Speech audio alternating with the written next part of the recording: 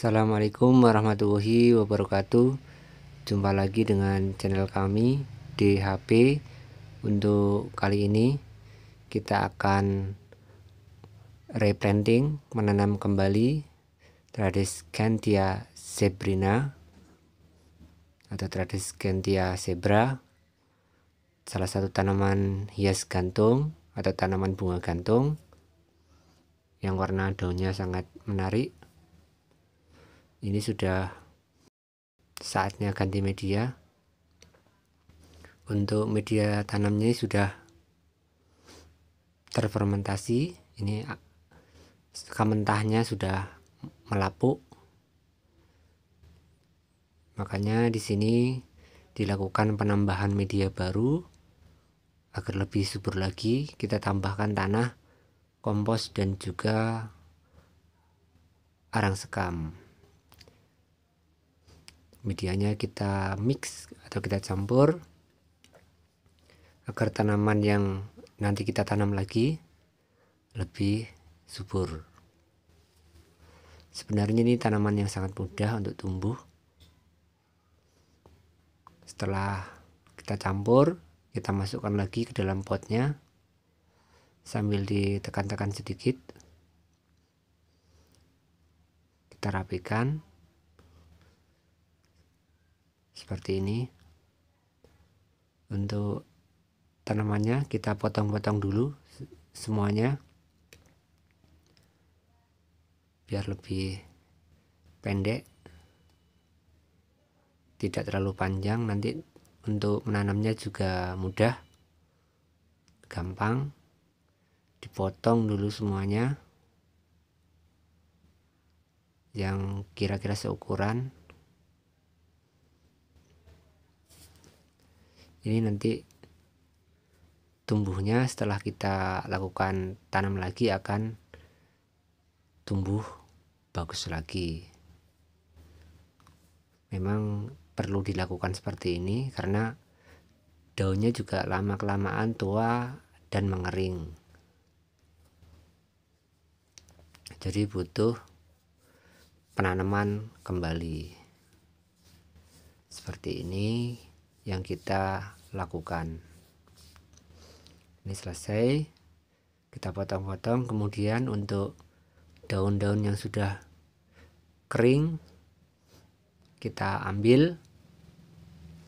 Kita bersihkan. Sebelum kita tanam lagi. Meskipun batang tidak apa-apa. Nanti kita taruh saja semua. Nanti coh juga tumbuh.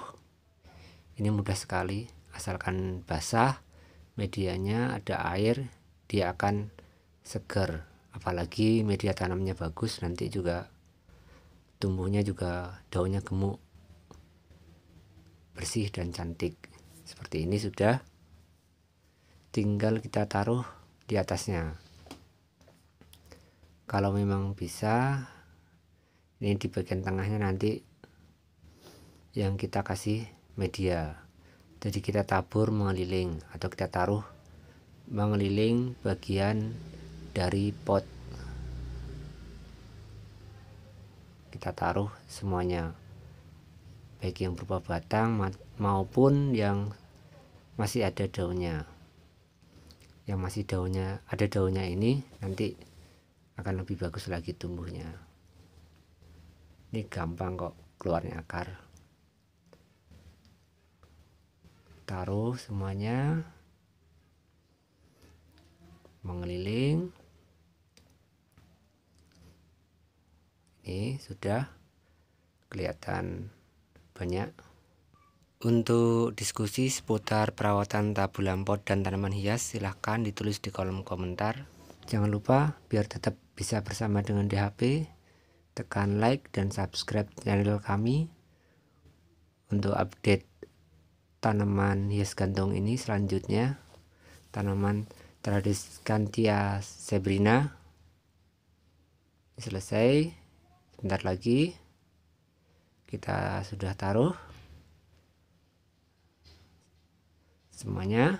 Untuk nantinya setelah tumbuh kita bisa menggunakan pupuk organik cair atau POC ataupun juga pupuk pabrikan. Meskipun tidak rapi tidak masalah seperti ini tinggal kita tambahkan lagi tanah di atasnya. Ini sangat sederhana mudah dan tidak repot. Tinggal seperti ini kita ratakan sedikit bagian tanaman yang menyentuh tanah inilah nanti yang akan tumbuh akar selesai tinggal kita siram. Ambil air dulu. Kita siram. Sampai benar-benar basah. Karena tanaman ini termasuknya tanaman hias yang mau dengan air.